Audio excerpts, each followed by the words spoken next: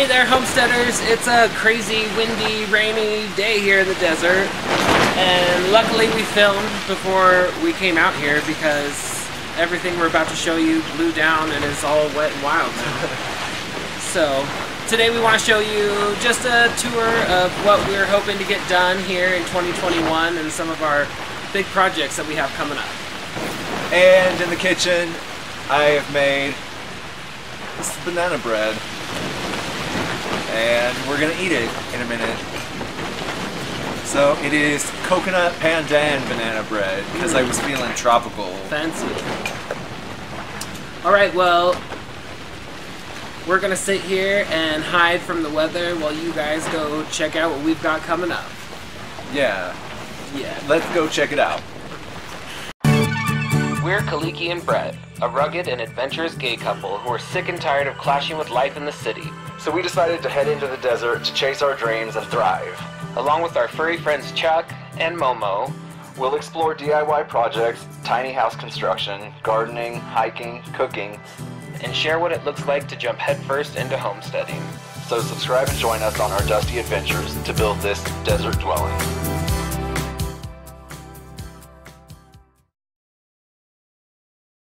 Right here is where we want to build an enclosure out of pallets so we can get some goats this year.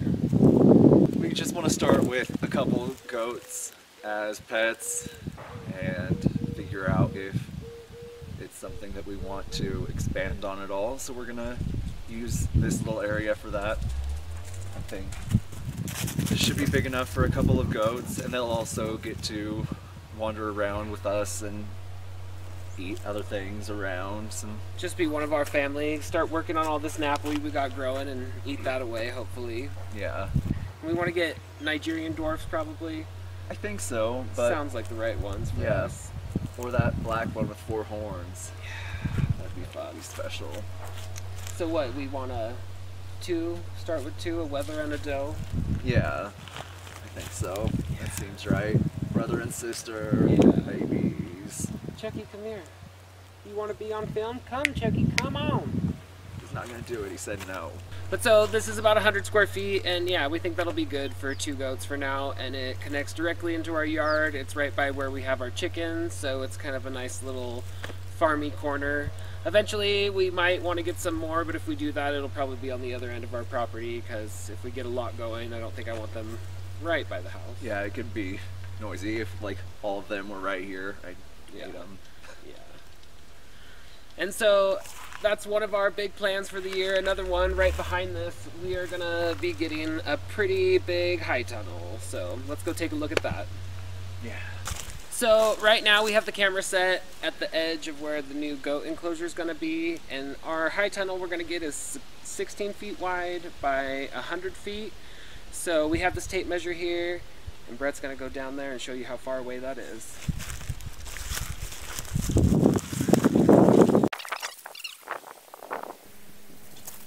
Almost. Alright, so from right here all the way down to where Bret is, that is 100 feet. So it's about the same square footage as our other high tunnel, it's just a little bit of uh, different dimensions. Can't wait for that. We're thinking um, May or June we should have that project getting going or hopefully done. You choking? You got the choke? Oh, you puked. What did you puke? Momo the puke.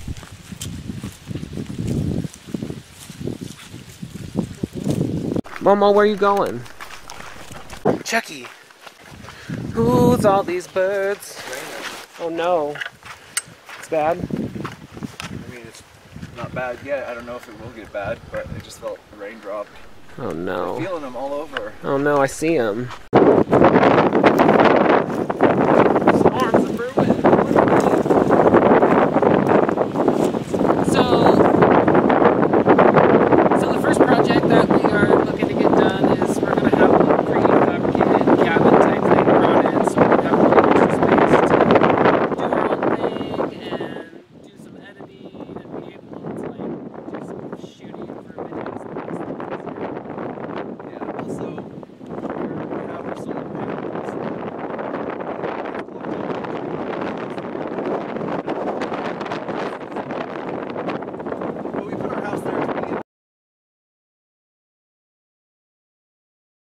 So one of the reasons why we're putting our cabin a little further north than our yard is because we don't get as much sun as we thought we would for our solar panels. And moving it just a little further north is gonna make it so we have more consistent sun all day long. Because days like today, we can't do much of anything as far as electricity. And if we want to like work on our videos on the computer or stuff like that, today's not that day.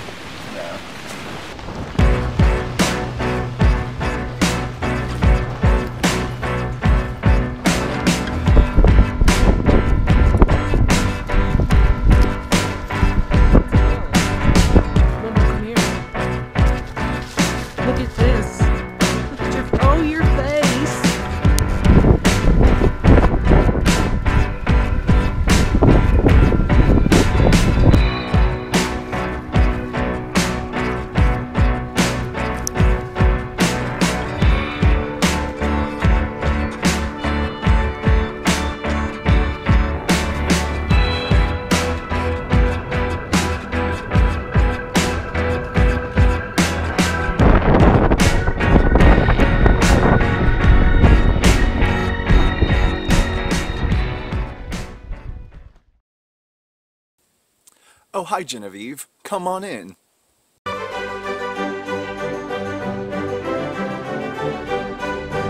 Today, I'm going to be making coconut pandan banana bread. I'm going to start with the wet ingredients. Here I have two bananas that are overly ripe, a little bit of sugar, some soy milk, a little bit of vegetable oil.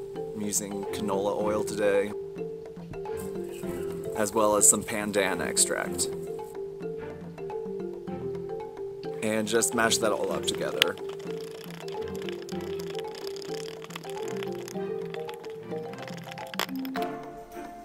And for the dry ingredients, I just have some all-purpose flour,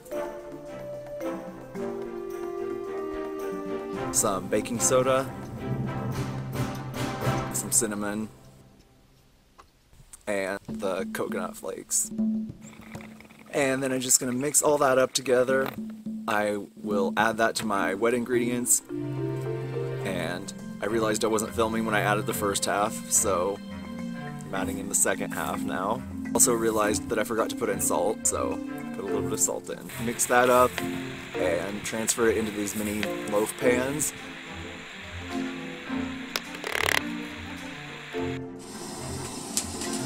And put it in a 350 degree oven for probably about 20, 25 minutes.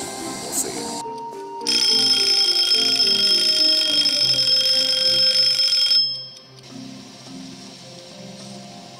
Ooh. 20 minutes is definitely not how long it takes to bake those. It's going to be probably twice that. Ah, yeah.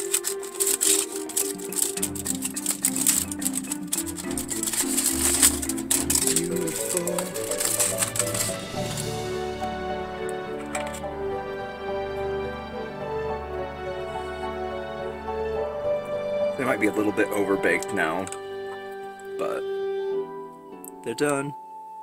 They smell really good. Mmm.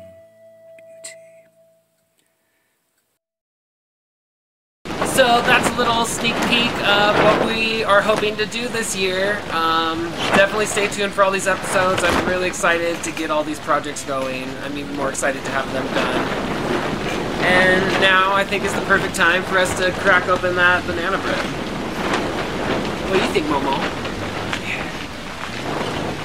Let's just cut into it. Ah, yes, slices. Cheers.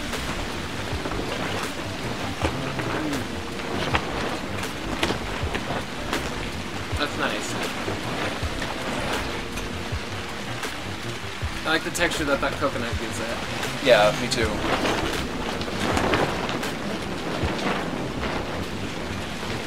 It's so nice to be able to hang out in here while it's stormy Yeah. and have our cute little animals. I wish we had a Special and Mimi in here. And a couple goats. Mm, soon. We'll have some soon. Hopefully. Spread the butter, spread the love.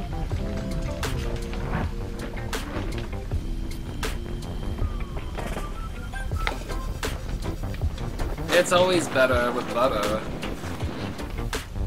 Where, where does butter come from? Where did cows just start happening? Where did butter come from? When did cows start happening?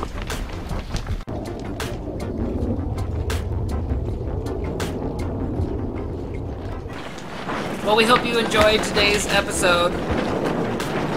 Is that thunder or is it just plastic? It's just plastic. That's crazy. It sounded like Rolling Thunder was coming to get me. We hope you enjoyed today's episode. Um, if you did enjoy this episode and want to see exclusive behind the scenes peeks and all the recipes from Bret's Kitchen and other fun, cool extras, then be sure to check out our Patreon page.